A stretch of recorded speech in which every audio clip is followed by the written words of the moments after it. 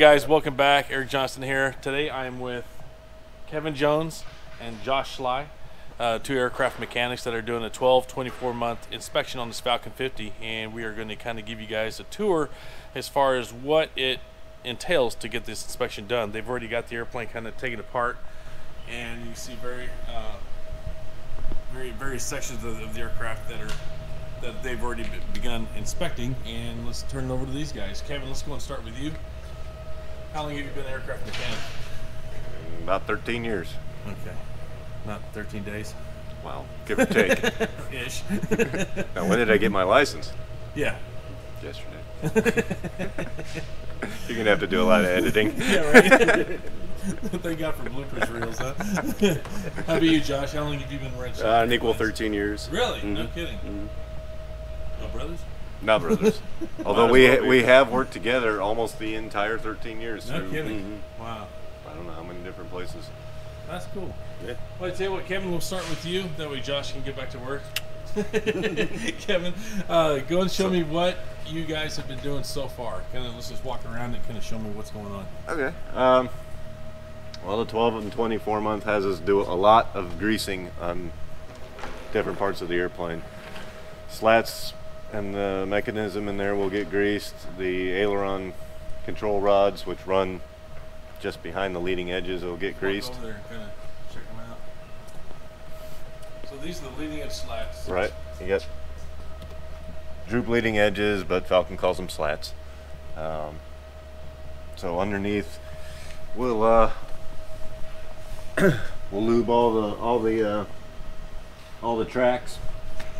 This rod up in here is the aileron control, and so every one of these little ball bearing sleeves will get cleaned and re-greased. That's for the ailerons? That's for the ailerons. Interesting. And you don't have cables running through the wing. You've got these push-pull tubes. Really? So mi- pretty minimal for as far as flight control cables on this airplane. Are the ailerons, are the controls boosted on this hydraulics? They're purely hydraulic. Oh, really? Okay. So it's, it's flies light light on the on the controls then. You've got uh, you've got feedback.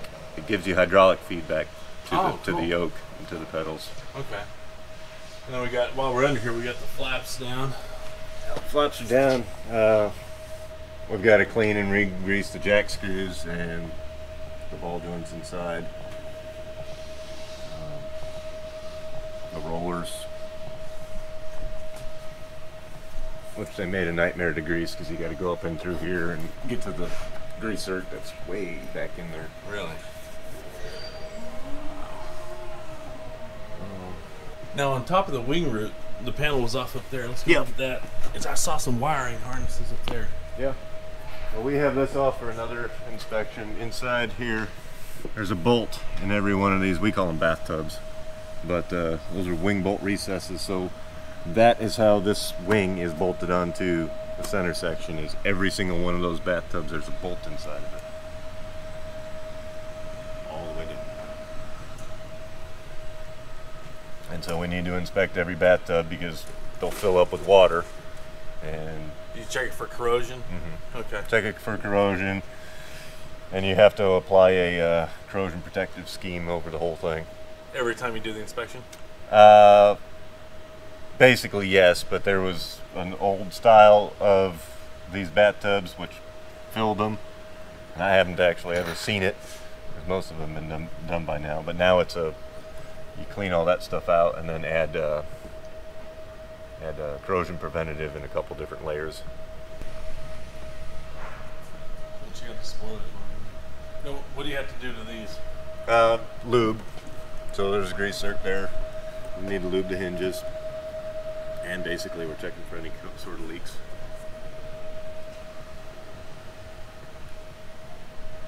Perfect. Engine cowls are open. We had a brush wear inspection on the starter generators. A brush, where is, where's the generator? Right there? Yeah, this is Okay. starter generator, so it either is the starter or it is the generator. Oh, it depends gotcha. on, on, you know, what mode you're in, basically. and uh, so carbon brushes inside, and every so often they get checked for wear. Now explain some of these other accessories to me. Okay. Uh, gearbox, which basically drives. This is the fuel pump. for the engine, and this is the fuel control for the engine. This does all the fuel scheduling for where your throttle is at. Um, this is a transfer gearbox, which just sends power off the turbine into the accessory gearbox. Um, as fuel oil cooler. And over here is oil tank, oil reservoir. This is engine filter, engine oil filter. Sorry. Um, I've got fuel flow. That is what gives you the cockpit indication as far as what uh, how much fuel you're burning per hour.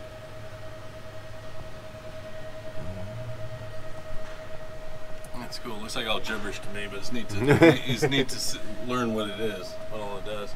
So this is a three holer, which means it's got three engines. Yep. Which is pretty cool on the Falcons. And is that the APU? The APU is back here. World War II airplanes. Well, that- it put put. Well, there's the APU. Well, here's the APU. Yeah. Okay. And so these are the ECUs, uh, environmental control units. So that's basically where you get your air conditioning. Gotcha. So they're not freon machines; they're air cycle machines. You, basically it's got a turbo. It's basically a turbo. That's all it is. It compresses the air, cools the air, then depressurizes the air, and that's when you depressurize a compressed gas, it gets cold, and that's how you get the air conditioning in these. That's the hydraulic tank up there. Right, system two there and system one here. Oh, interesting. And that's the tube for the exhaust for the number two engine, which is the That's one in the middle. Number two intake. That's intake. Yeah. Oh, the jet spec. I yeah, the that. whole engine is I knew that. way back there. So they call that the S duct, and we've got a hatch right here. I can open that. Yeah, go. If you don't mind. Since it's so, so tight and cramped in there, I might have you do that.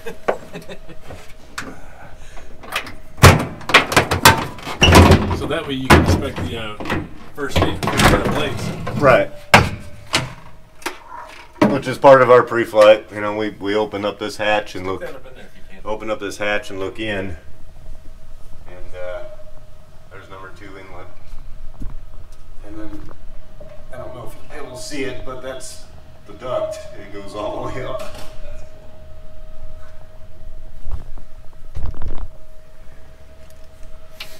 Thanks for opening that. Oh yeah, no problem. That's easy. I have to look in there anyway.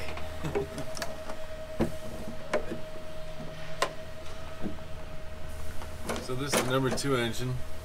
Mounting setups are different. This engine basically hangs from the top. Really? Those engines are hung from the sides where their mounting points are, but otherwise they're just, and that's just uh, components that I would install in, in different places. Now up here, that's where the uh, TRs, the thruster bushes, would normally be, right? Yeah, this one, the Falcon 50 only has one thrust reverser.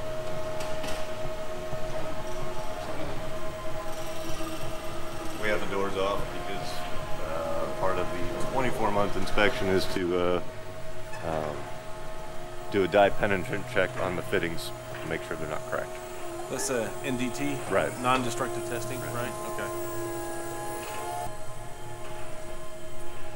All the same stuff as the other ones. Now, what's in these panels down here? Uh, a lot of this is hydraulic equipment and or fuel. Um, I've got fuel selectors here. Um, that would shut off fuel to the number two engine. And um,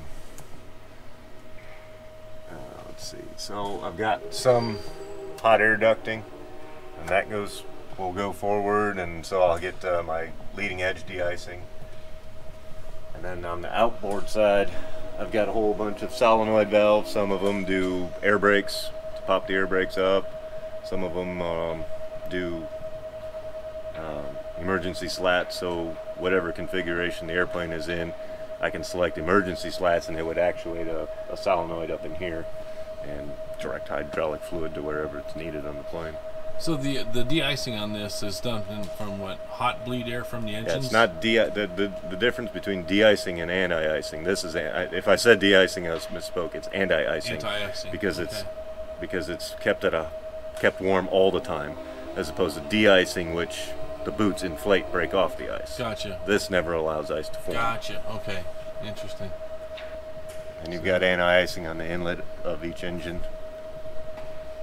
So it keeps the, uh, And that's for the pre- that's for the single point refueling. right, And right above you is your uh, GPU. ground power, and then I've got, I can run a mule, hydraulic mule to either hydraulic system two, one or two. Is that For for, like, gear the- swings, Gear swings yeah, like if I need to Okay. run the flight controls with full pressure. The I've got an aux pump that I can select for either system, but I can't get full pressure on it, nor full flow. Gotcha. Now the flaps and the leading edge slats, those are electric, Uh, no, they're hydraulic. hydraulic as well. Everything, I don't have anything electric surface-wise except for the uh, stab actuator is electric Okay. Oh, gotcha. for my stab trim. and that's on. Is that a screw jack system on Yes. that? Okay, for the trim. Right. Okay. Interesting. And we've got to do some inspections on that too, so I'll have that panel off here Nice. pretty soon. Is there anything? Uh, is there anything that you guys are planning doing now, or planning on doing on the interior? You supporting the inspection? Not really. I've got some. Um, I've got some interior squawks I need to fix, um, but not per inspection do I need to get into the floor or anything. This is mostly exterior stuff that you Right. gotta gain access to. Right, right. Okay. Systems checks, kind of, Cool. kind of thing. Well, there you have it, guys. That's day number one of the inspection. Well, day number one of filming. These guys have been hard at it for a few days, as you can tell. So we'll keep you guys updated. And thanks for watching. Make sure you like the video, subscribe to the channel, and say bye to Kevin. Bye, Kevin.